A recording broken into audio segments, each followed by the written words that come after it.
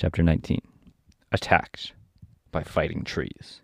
The next morning, Dorothy kissed the pretty green girl, Matilda, goodbye, and they all shook hands with the soldier with the green whiskers. She wouldn't kiss him because of his whiskers, uh, who walked with him as far as the gate. When the guardian of the gate saw them again, he wondered greatly that they could leave the beautiful city to get into new trouble. But he at once unlocked their spectacles, which he put back into the green box and he gave them many good wishes to carry with them. We still need to wear the spectacles, even with the with the scarecrow in charge. You you are now a ruler, he said to the scarecrow. So you must so you must come back to us as soon as possible. I certainly shall if I am able, the scarecrow replied. But I must help Dorothy to get home first. As Dorothy bade the good natured guardian a last farewell, she said, I've been beat. That's not what she said. I've been very kindly treated in your lovely city, and everyone has been good to me. I cannot tell you how grateful I am. Don't try, my dear, he answered. We should like to keep you with us, but if it is your wish you should return to Kansas, I hope you will find a way. He then opened the gate from the outer wall, and they walked forth and started upon their journey. The sun shone brightly as our friends turned their faces toward the land of the south. They were all in the best of spirits and laughed and chatted together. Dorothy was once more filled with hope of getting home, and the Scarecrow and the Tin Woodman were glad to be of use to her. As for the lion, he sniffed the fresh air with delight and whisked his tail from side to side in pure joy at being in the country again, while Toto ran around them and chased the moths and butterflies, barking merrily all the time. City life does not agree with me at all, remarked the lion, as they walked along at a brisk pace. I have lost much flesh since I lived there. Much, fl- much flesh? Like weight?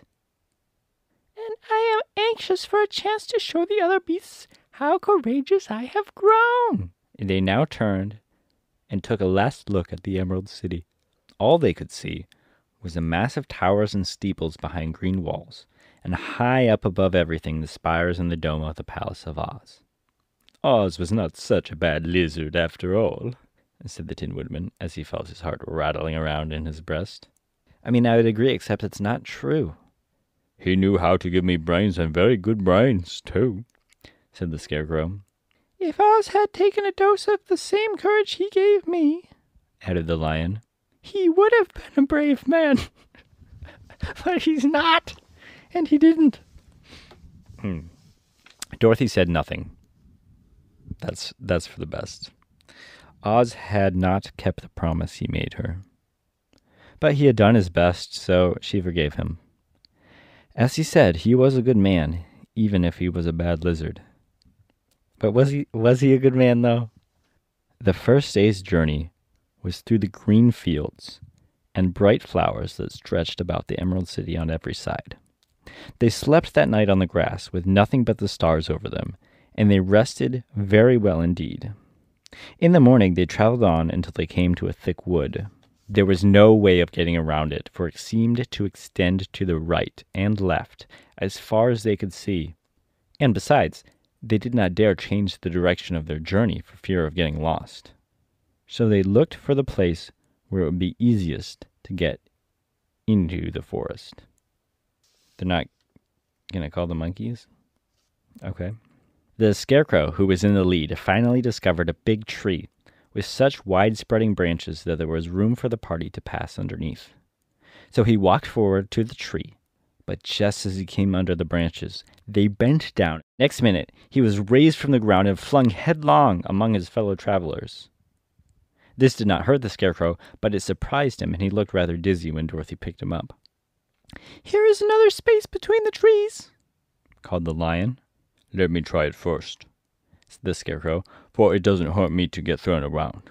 He walked up to another tree as he spoke but its branches immediately seized him and tossed him back again. Oh, this is strange, exclaimed Dorothy. What shall we do? The trees seem to have made up their minds to fight us and stop our journey, remarked the lion. I believe I will try it myself, said the woodman, and shouldering his axe, he marched to the first tree that handled the scarecrow so roughly. When a big branch bent down to seize him, the woodman chopped at it so fiercely that he cut it in two. And at once the tree began shaking all its branches as if in pain, and the Tin Woodman passed under it safely. This is not an environmentally friendly book.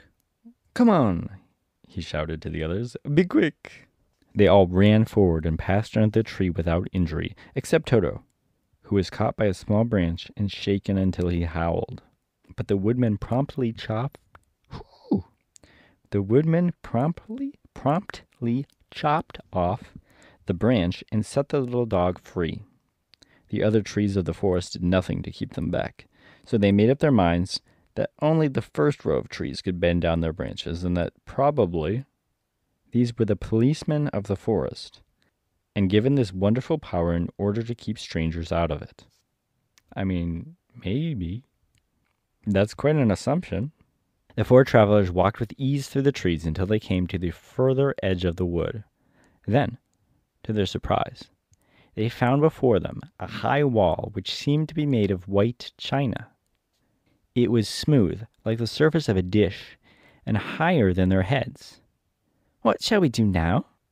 asked Dorothy. I will make a ladder, said the Tin Woodman, for we must certainly climb over the wall.